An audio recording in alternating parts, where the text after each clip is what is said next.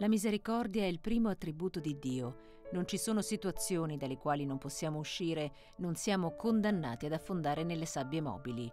Lo afferma Papa Francesco nel libro intervista Il nome di Dio è misericordia, una conversazione con Andrea Tornielli, edito da PM e distribuito in 86 paesi. Nel volume, diviso in nove capitoli e presentato martedì presso l'Istituto Patristico Agostinianum, il pontefice illustra le ragioni che lo hanno condotto a indire un anno santo dedicato proprio alla misericordia, rimarcando la sollecitudine che la Chiesa ospedale da campo deve avere per l'umanità ferita. A intervenire alla conferenza lo stesso vaticanista del quotidiano La Stampa, il cardinale Pietro Parolin, segretario di Stato Vaticano, e l'attore e regista Roberto Benigni. A me durante questo colloquio ha colpito di più eh, una caratteristica che in parte già conoscevo, però mai avevamo dialogato eh, con il Papa nelle precedenti interviste sul tema della misericordia, la capacità di mostrare il volto di un Dio che le prova veramente tutte per venirti incontro e perdonare il suo perdono. E dunque un, un senso di vicinanza e di tenerezza e credo che questo sia, spero, il messaggio più importante che passa attraverso le risposte di questo libro. Pio XII, più di mezzo secolo fa, aveva detto che il dramma della nostra epoca era l'aver smarrito il senso del peccato, la coscienza del peccato.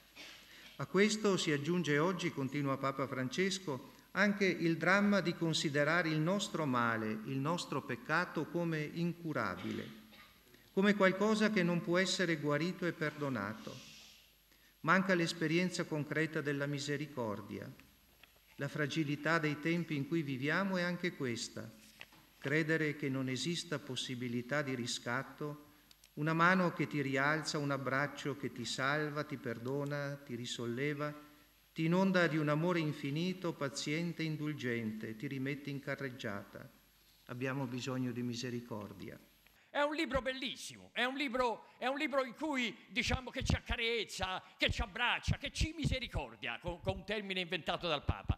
Perché la, la, misericordia, attenzione, che non è una virtù così che sta seduta in poltrona, è una virtù attiva che si muove, guardate il Papa non sta mai fermo, che muove non solo, non solo il cuore, ma anche le braccia, le gambe, i calcagni, le ginocchia, muove il corpo e l'anima, non sta ferma mai, va incontro ai miseri, va incontro alla povertà, non sta fermo un secondo. È un libro bellissimo in cui parla della vita e la vita cos'è per Francesco? Si sente che la vita è conoscenza, amore e una compassione infinita per il dolore che attraversa l'umanità. Questo è. E che la misericordia e il perdono è alla base del suo pontificato. E allora dice, se si perdona tutto, però allora la giustizia che ci sta a fare? Ma la misericordia, ce lo dice Francesco, è la giustizia più grande.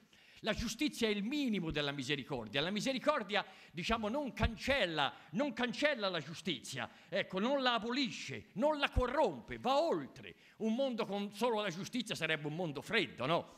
Si sente che l'uomo non ha solo bisogno di giustizia, ha bisogno anche di qualcos'altro. Non è nuovo il tema della misericordia, ma c'è un'urgenza che già i predecessori di Francesco avevano individuato ed è un mondo diviso da guerre, è un mondo dove si, si vive la terza guerra mondiale, dove sembra prevalere l'odio o l'indifferenza, il Papa ne ha parlato anche nel discorso al corpo diplomatico, ecco di fronte a questa situazione c'è bisogno eh, davvero, ha detto in un'omelia del, del primo gennaio, di un oceano di misericordia e dunque è un messaggio che va oltre le singole persone, le singole vite, le vite delle famiglie e delle società, ma che riguarda anche i rapporti tra i paesi. Il messaggio del perdono è, qualcosa che, che, secondo me ha anche una valenza, tra virgolette, se vogliamo, politica e lo aveva ben capito Giovanni Paolo II che nel messaggio per la giornata della pace, poche settimane dopo eh, gli eventi dell'11 settembre, l'attacco all'America, aveva detto che non c'è pace senza giustizia, ma che non c'è giustizia senza perdono.